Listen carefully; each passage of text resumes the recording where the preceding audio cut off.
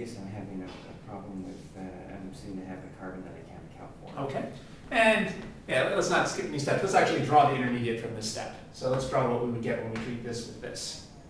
I said we could leave that out, but what are you gonna get when you put these two things together?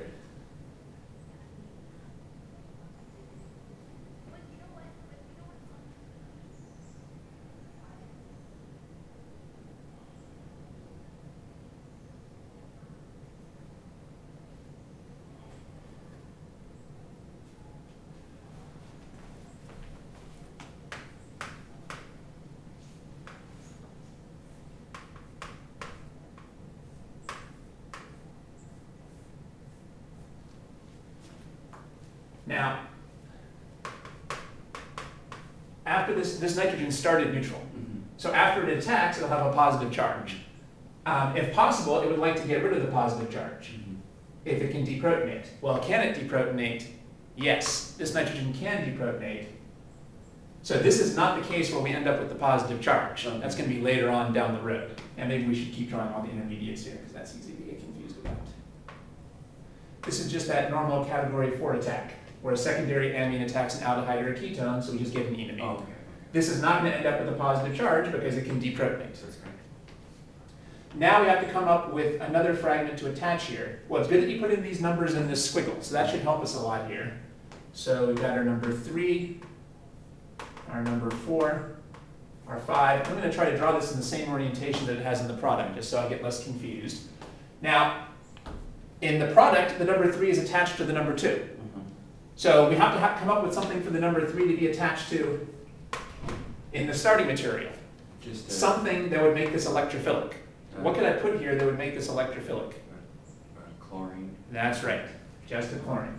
So the key This thing is where I was getting Right. confused. this one step here was the step that was messing you up. What should we put here? So again, if it's not attached to the number two in the starting material, well, we can have it attached to whatever we want. All right. Well, something that would make it useful is a good leaving group. So this is the next reagent that we need to add. Let's show the mechanism for the next step. Let's show the mechanism for the next step. The mechanism for the reaction between these two. All right.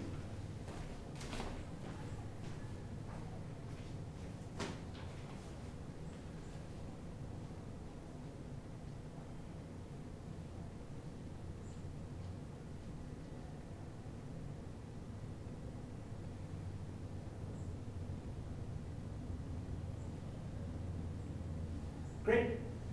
Um, let's try the, try the product from that step. Or, ah, so maybe there was still something a little bit left out. Now remember, the whole reason this is a nucleophile is because this lone pair is kicking down. So it's a really good habit to put that in. Otherwise, it's going to be hard to draw the intermediate correctly.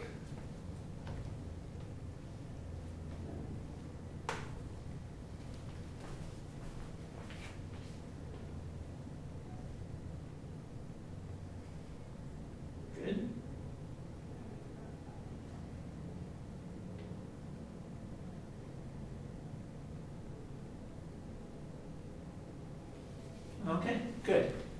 The numbers here really help us to make sure that we're not adding or dropping carbons. So we want to keep putting numbers in each picture. It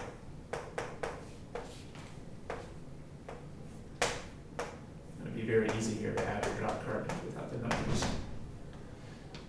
Now the nitrogen has a positive charge, because now it has no protons it can lose. So I think early on, you kind of got this stage confused with this stage over here. After the first attack, the nitrogen can deprotonate, so it's still neutral. But after the second attack, so to speak, then it can't deprotonate anymore, so then it's got the positive charge. Now we've formed that key bond that we were trying to form all along between the number two and the number three. So what would be our last step? The addition of uh, hydrochloric and water. Right. And we haven't really talked about the mechanism for that too much, so we'll just go straight from here to here. We know that that simply blasts off this nitrogen and puts this oxygen on. So that would complete our synthesis. So again, I guess there was three steps in the synthesis. Adding the secondary amine, then adding this fragment, and then this step over here. All right, we did a lot of things right there. The th- stuff that gave you trouble was this little step here. So again, I think the numbers really help us. And since this is a synthesis, we can attach the number three to whatever we like in the starting materials. Notice, what's the purpose of this carbonyl here? Just to confuse us. Mhm. This carbonyl didn't play any role in the entire reaction. It was just there to distract and confuse us. What we care about is the number three carbon, not the number four carbon. Notice that this, we didn't do an addition elimination here. What, what type of mechanism did we do here? Just normal SN2. We just did a normal SN2 because we didn't want to attack the carbonyl carbon. We wanted to attack a normal alkane carbon. So this was just here to distract us. And the numbers really help us to keep focused on who we're attaching, who we're attacking, and who we're not.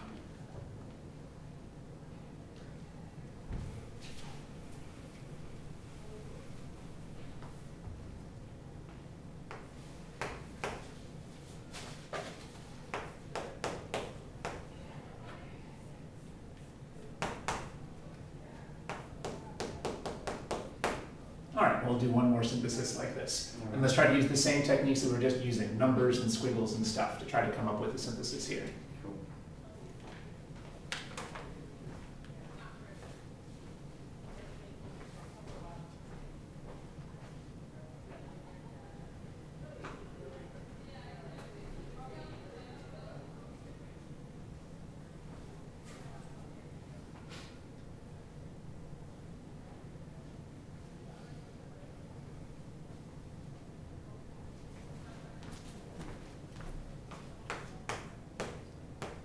Noticed that you put a number five over here. Oops, However, this is not a carbon. that's correct. Sometimes it's useful to number oxygens too, but I don't think that would be necessary for this problem. That's just going to confuse us and make us think there's another carbon here.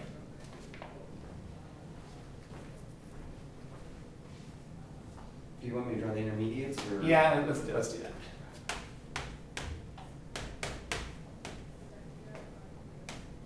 We know we have to start with this because they said this is a phenol. That's a good start. Yeah, let's draw the intermediate from that step.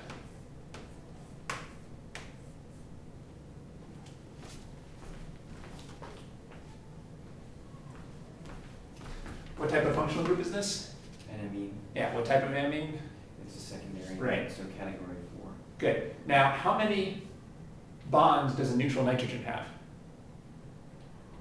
Three bonds.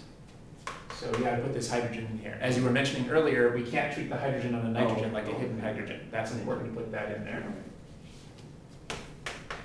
But otherwise, this is the right reagent, and then we can show the intermediate from that step. Another point is that we should also show the catalyst.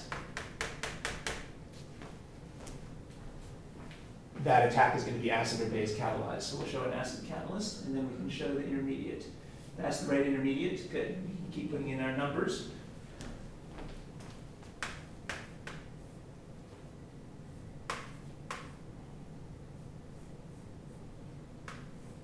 You remember that this is category four, so even though we're not doing the mechanism, this is what it's going to look like. You can see we really needed this hydrogen over here. After it attacks, to get rid of the positive charge, it deprotonates, and now it doesn't have the hydrogen anymore, because now the carbon bonds form three bonds. Now we need to add something to this.